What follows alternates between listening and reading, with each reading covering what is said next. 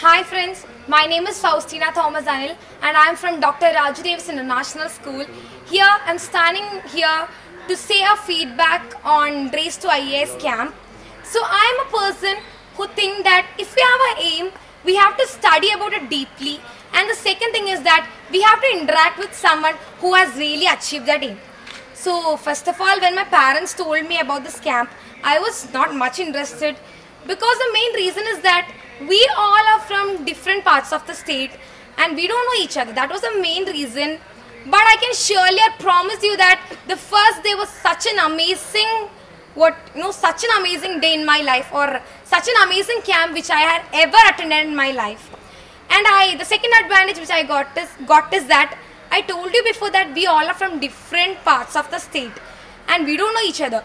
But first day itself, they divide us into seven teams and I think from that we got many qualities like punctuality because if we come early means we'll get points. So everyone was really interested in that. The second thing is the teamwork, then focus minded, competitive mind and all.